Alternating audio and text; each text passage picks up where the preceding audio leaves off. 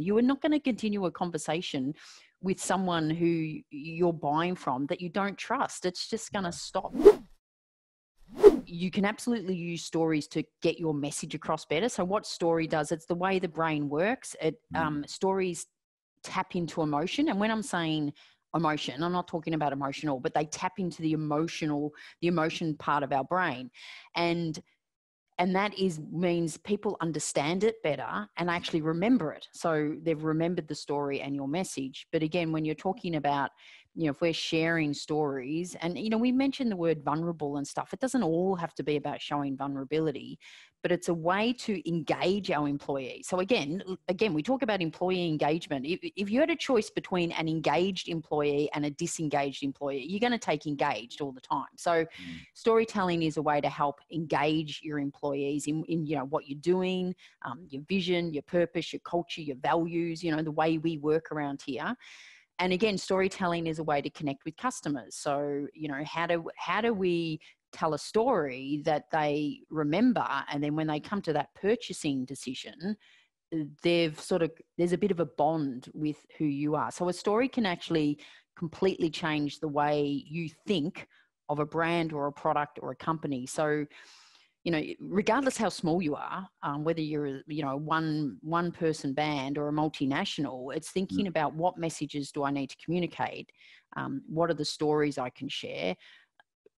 I might be biased, but clearly it's about educating the people that need to do it. Because if mm. there's, you know, if we, I, I see train wrecks when I see companies go, oh, we're going to start telling stories and we're going to get our people to start sharing stories and they don't give them training and it just it's it's a disaster because yeah. it just doesn't it doesn't have the it doesn't work and it, it can scar people for life because it's a really negative experience.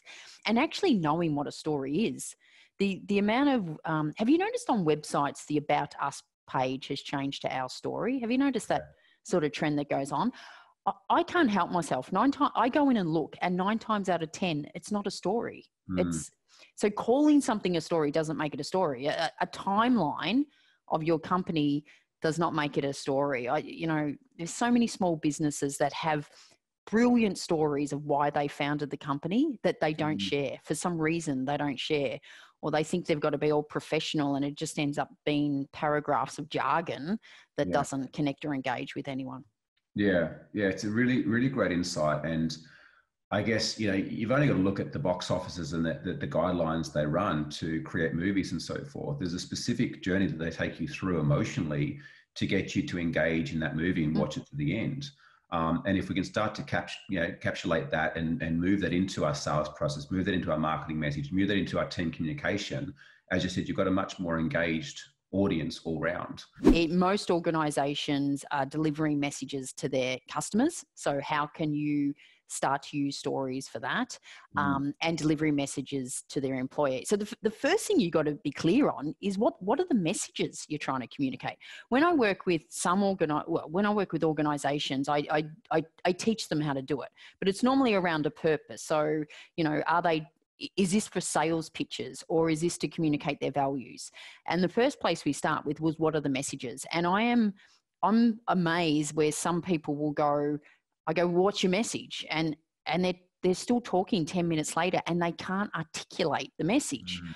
Or they go, Yep, I know what I know what I want the story to do. I want them to communicate this, this, this, and this. So it was like, well, that's five messages, so you need five stories. So being really clear on the message and then it's finding the stories. Now this is this is a combination of your own personal stories you can use and when i say personal stories they, it's like nothing to do with work um, finding them, but also then finding stories throughout your company, you know, perhaps of employees doing some great stuff, um, employees living the values, or employees doing some really good community work, or how you've helped customers. So I sort of think of it, if, you know, if you think of it as a storytelling spreadsheet, you got you got all your messages, and then across the line you've got potentially all the stories you can use. So your own stories and stories of others, and so just just doing that, just being aware of, well, what are the messages? But the very next question you ask yourself is, what story could I share to get that message across better? Yeah.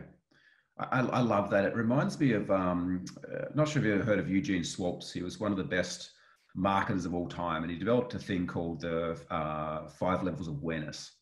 and just start off with like the, the, and it's related to customers and customers buying patterns and you can start off with most like unaware then you have uh, so they're completely unaware of you and unaware of your product and services. Then you have problem aware. They're aware that they have a problem but they're not aware there's any solution that exists for that problem. Solution aware they know they have a problem and that they know there's some form of solution out there yet. Then you have uh, product aware.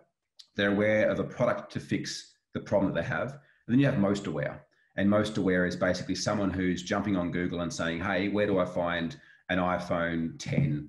Blah, blah, blah. And they know everything about the product and features. They know the cost. They're just competing on price. Yep. Stories have the ability to educate your market from a very early stage of inception before they even realize that they have a problem or that they have a need or a solution exists and take them all the way through the buying cycle, which earns credibility, it mm. earns trust, and it earns their credit cards at the end of the day yeah. because you've chosen to educate them more than your competitors who's going out there running advertising or marketing which is like you said a, a, timeline of a business or you know a list of features and benefits rather than actually taking the time to communicate in a way that, that they can receive why this product service is important to them or why this message is important to them yeah, yeah, I agree. And I, and I think storytelling is one of the most respectful ways to communicate. I think, first of all, you do have to put a lot of effort into it. The, the reason we communicate with facts and figures and um, products, uh, you know, product benefits and specifications, because it's easy. It's, it's mm-hmm. easy, but it's, um, it's not really engaging and it's not talking to their real needs. So, I mean, you know, you don't need a story for everything,